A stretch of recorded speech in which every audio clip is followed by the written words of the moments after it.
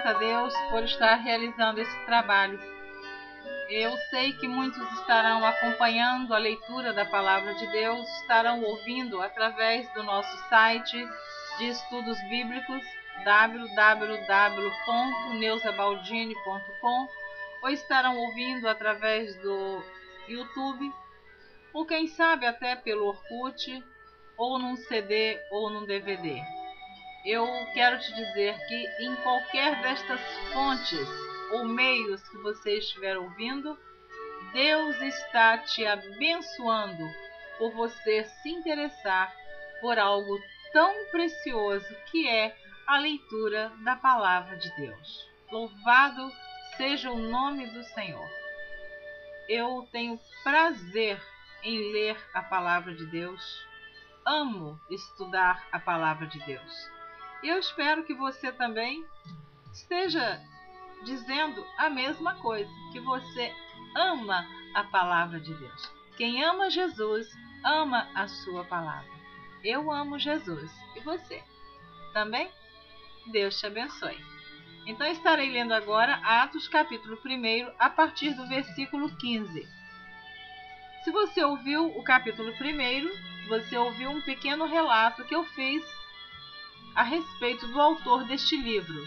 Também, como sempre estou informando, o livro de Atos tem 28 capítulos e 1007 versículos.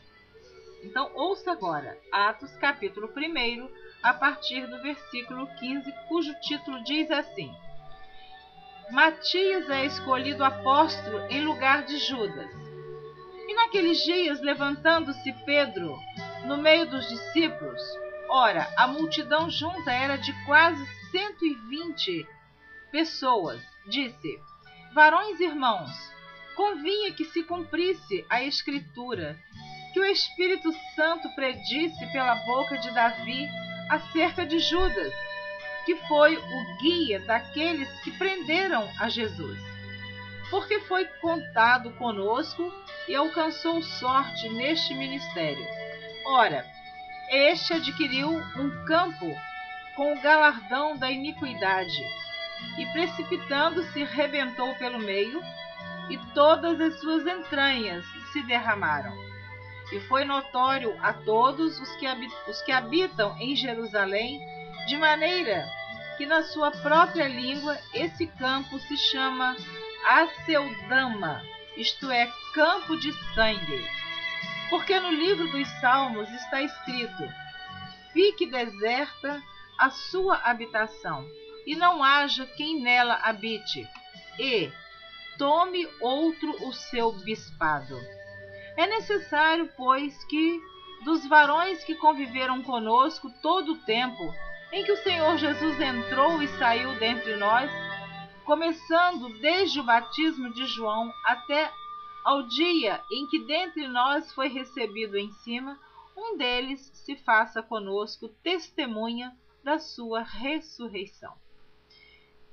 E apresentaram dois, José, chamado Barsabás, que tinha por sobrenome o Justo, e Matias. E orando disseram: Tu, Senhor, conhecedor do coração de todos, mostra qual destes dois tens escolhido, para que tome parte neste ministério e apostolado de que Judas se desviou para ir para o seu próprio lugar. E lançando-lhes sortes, caiu a sorte sobre Matias, e por voto comum foi contado com os onze apóstolos. A descida do Espírito Santo. Atos, capítulo 2. Cumprindo-se o dia de Pentecostes, estavam todos reunidos no mesmo lugar. E de repente veio do céu um som como de um vento veemente e impetuoso e encheu toda a casa em que estavam assentados. E foram vistas por eles línguas repartidas como que de fogo, as quais pousaram sobre cada um deles.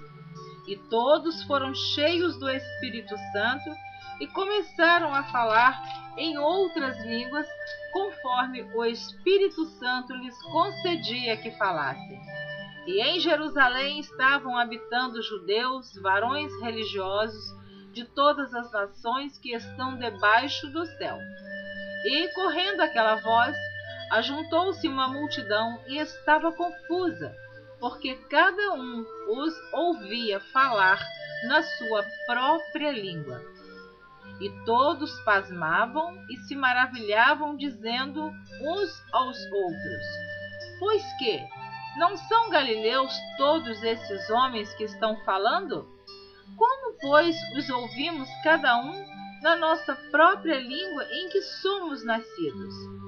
Partos e medos, elamitas e os que habitam em Mesopotâmia e Judéia e Capadócia e Ponto e Ásia e Frígia e Panfilha, Egito e partes da Líbia junto a Cirene e forasteiros romanos, tanto judeus como prosélitos, e cretenses e árabes, todos os temos ouvido em nossas próprias línguas falar das grandezas de Deus. E todos se maravilhavam e estavam suspensos, dizendo uns para os outros: Que quer isto dizer? E outros zombando diziam: Estão cheios de mosto. O discurso de Pedro. Pedro, porém, pondo-se em pé com os onze, levantou a voz e disse-lhes: Varões judeus, e todos os que habitais em Jerusalém, seja-vos isto notório, e escutai as minhas palavras. Estes homens não estão embriagados como vós pensais sendo esta a terceira hora do dia. Mas isto é o que foi dito pelo profeta Joel. E nos últimos dias acontecerá, diz Deus, que do meu espírito derramarei sobre toda a carne, e os vossos filhos e as vossas filhas profetizarão. Os vossos jovens terão visões, e os vossos velhos sonharão sonhos e também do meu espírito derramarei sobre os meus servos e minhas servas naqueles dias e profetizarão. E farei aparecer prodígios em cima no céu e sinais embaixo na terra: sangue, fogo e vapor de fumaça. O sol se converterá em trevas e a lua em sangue antes de chegar o grande e glorioso dia do Senhor. Eu vou parar aqui no versículo 20 do capítulo 2 do livro de Atos e você continua ouvindo a leitura da palavra de Deus. Eu espero você na continuação deste capítulo, que será a partir do versículo 21. Quero sempre te abençoar, quero agradecer a Deus em primeiro lugar por alguém está ouvindo esta palavra. Estamos cumprindo o ide que o Senhor Jesus Cristo deixou para nós. Ide por todo o mundo, pregai o evangelho a toda criatura. Eu estou pregando. Quem tem ouvido, ouça o que o Espírito está dizendo. Deus te abençoe. Amém. Eu espero você na próxima leitura.